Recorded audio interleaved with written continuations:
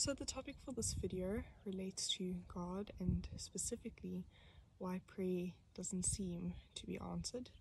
Um, I think it is a very important topic, and I know that for me personally, the points that I'll be highlighting have really aided me in my spiritual journey, in my walk with God, and in my prayer life. And prayer is absolutely fundamental in the Christian's life. Um, hence, it is of great importance, and I think it is something that needs to be discussed. So, I'm not going to do this in any specific order, but I think my first point relates to the timing not being right. Um, you know, sometimes, sometimes we become impatient and we say, "Oh, but God isn't answering my prayers," and sometimes we develop expectations as to when we expect God is going to be answering our prayers. Um, but in reality, you know, His timing is way different from ours, and it could be due to situations or scenarios not having been set in place yet, or it could even be due to our hearts not being ready to receive His answer. Um, but it's always important to talk to God and to ask Him to give you the patience to wait for His answer. And I think another thing that I mean, I know for me personally, I have definitely done in the past is sometimes we pray and we ask God something and we already have a preconceived expectation or idea as to how we expect Him to answer our prayers.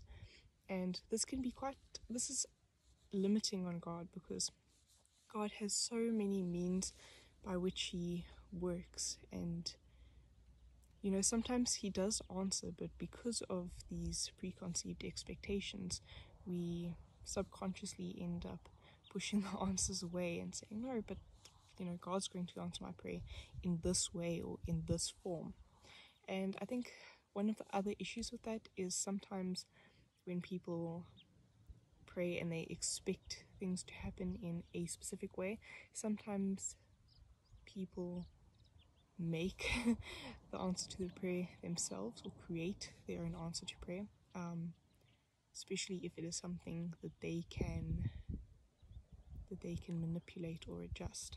Um, another thing is that it is so easy to also subconsciously and you know it happens without one realizing it but it is very easy um, when one has because I, I don't think it's wrong for us to have you know within our heart have an idea of what we want the answer to be, but the issue lies within us wanting the answer to be a certain answer and not accepting it when it's a different answer.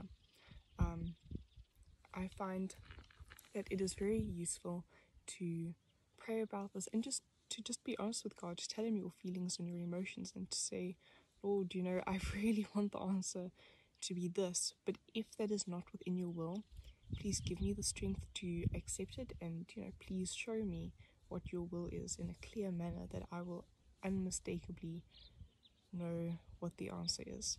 And God respects that. God honors his word. God God does what he says he will do.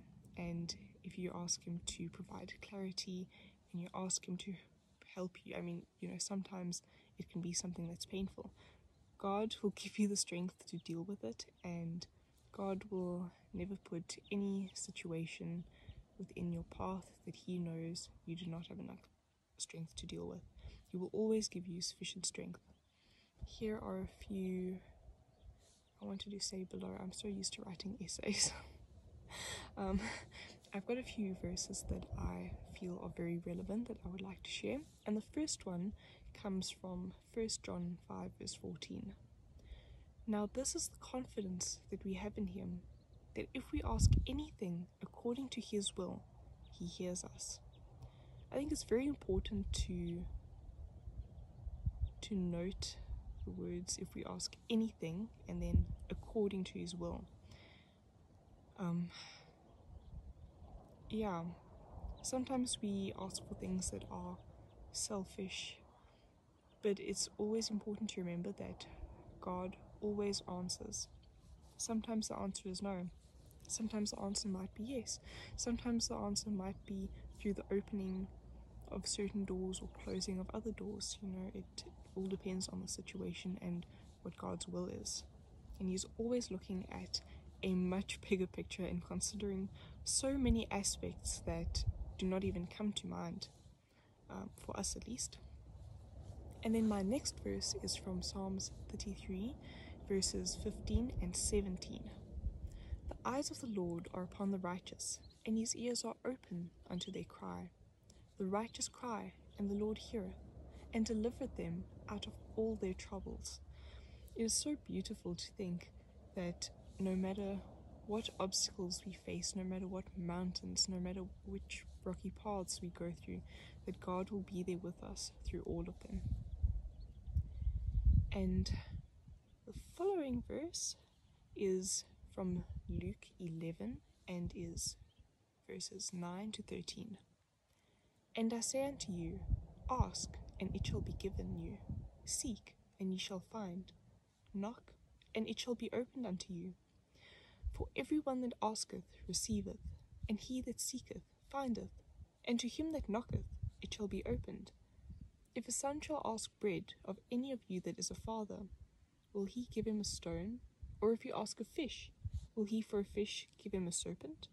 Or if he shall ask an egg, will he offer him a scorpion? If ye then, being evil, know how to good, good, give good gifts unto your children, how much more shall your heavenly Father give the Holy Spirit to them that ask him?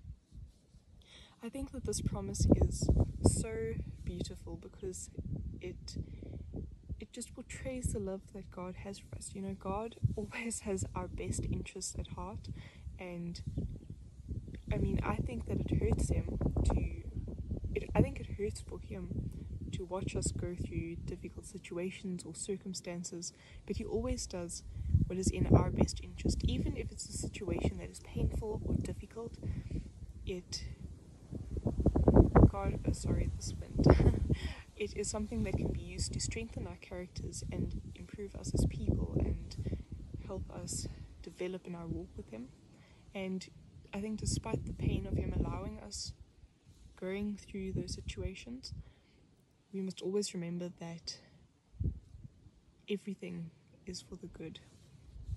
And no matter how dire a situation or no matter what you go through, there's always a silver lining, there's always something positive about it, and there's always beauty hidden. Mark 11, verse 24 Therefore I say unto you, what things soever ye desire, when ye pray, Believe that ye receive them, and ye shall find them.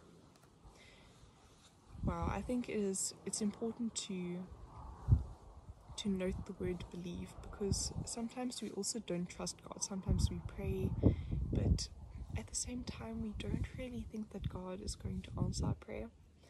And it's of high importance that we have full faith and trust in God. You know, with our human nature, it is so, so, so easy to say we trust God when in reality our trust is not being placed upon God.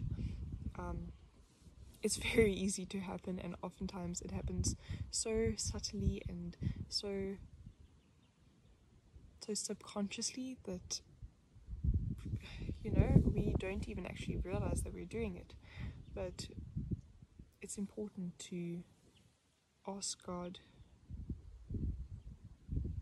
Sorry but it is important to ask God to open our minds and our hearts. And with that, I shall read not a Bible verse, but a quote, one of two quotes that I thought were both beautiful and very relevant. So this is from Signs of the Times, November 18th, 1886.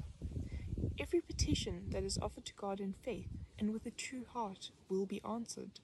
Such prayer is never lost, but to claim that it will always be answered in the very way and for the particular thing that we desire is presumption. God is too wise to err and too good to withhold any good thing from them that walk uprightly.